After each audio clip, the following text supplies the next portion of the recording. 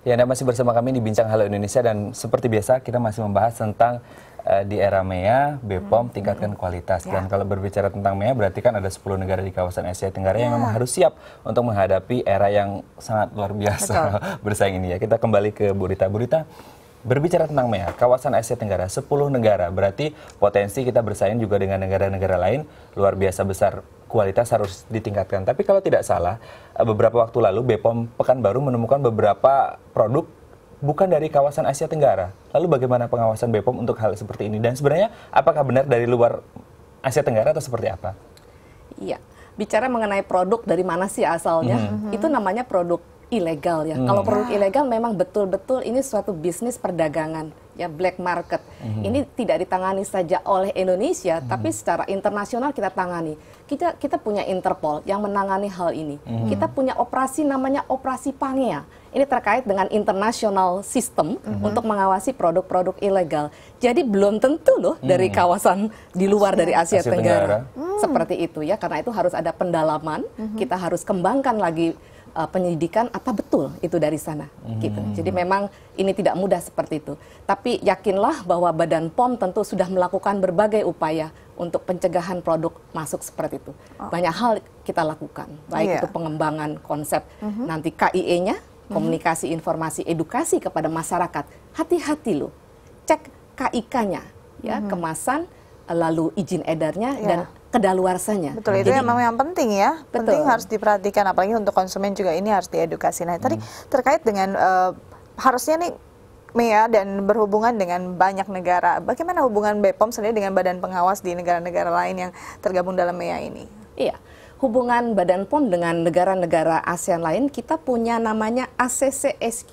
Mm -hmm. Ini adalah ASEAN ASEAN Commission ASEAN Consultative Commission for Standard Quality. Mm -hmm. Artinya untuk melihat standar quality.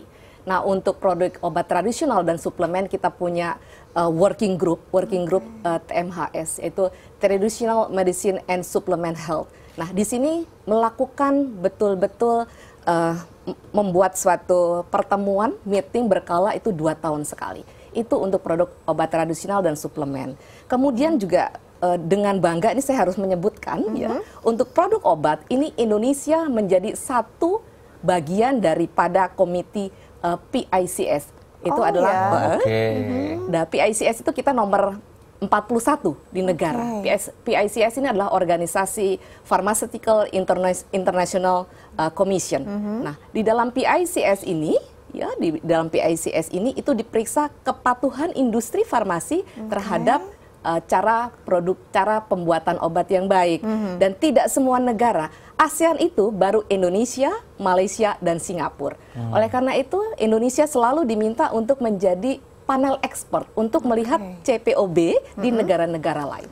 Jadi banyak hal kita sudah di dalam ASEAN itu membuat harmonisasi mm-hmm. pertemuan-pertemuan mm -hmm. bagaimana produk-produk yang beredar itu aman, berkasiat dan bermutu Oke, ini mempunyai memang nilai harus dipastikan seperti itu. Tapi memang uh, edukasi terhadap masyarakat hmm. juga sangat diperlukan dan BPOM mencoba berinovasi dengan lewat kontak center. Nah, seperti apa cara kerjanya kita lihat dalam tayangan berikut. Selain melakukan pengujian dan pemeriksaan bahan pangan dan obat-obatan, BPOM juga mengedukasi masyarakat pentingnya peduli terhadap bahan pangan dan obat-obatan melalui kontak center Halo BPOM 1500533. Kontak center yang telah beroperasi sejak tahun 2013 ini melayani aduan masyarakat terkait kualitas bahan pangan maupun obat-obatan yang beredar di pasaran. Layanan kontak center ini dimanfaatkan bagi para pelaku usaha sebagai sarana informasi untuk memeriksa kualitas produk impor dan ekspor. Menurut data Pusat Informasi BPOM, sepanjang tahun 2015, sebagian besar pertanyaan dan aduan yang dilayani oleh Halo BPOM meliputi keamanan pangan dan legalitas produk yang beredar di pasaran mengingat mudahnya peredaran produk palsu di tengah masyarakat. Selama dua tahun beroperasi, tercatat sebanyak 18.000 aduan dan pertanyaan ditangani Halo Bepom. Namun, menurut Kepala Pusat Informasi Bepom Rita Endang, jumlah tersebut menunjukkan bahwa kinerja Bepom dalam melayani masyarakat belum menyeluruh dan perlu peningkatan. Untuk makin mempermudah layanan kepada masyarakat, di tahun 2016 ini, kontak center Halo Bepom menargetkan untuk membuka pelayanan terpadu satu pintu. Oke, ada Halo Bepom. Apa sih yang bisa dilaporkan masyarakat di situ? Apakah uh, produknya, keadaluarsanya atau misalnya ada kecurigaan masyarakat terhadap produk tertentu langsung bisa dilaporkan ke Bepom? Ya, jadi Halo Bepom ini uh, tidak hanya untuk masyarakat jadi termasuk hmm. proses bisnis oleh pelaku usaha. Hmm. Itu okay. juga bertanya bagaimana sih apa sih standarnya, hmm. ya peraturannya apa yang dapat mendukung produk mereka.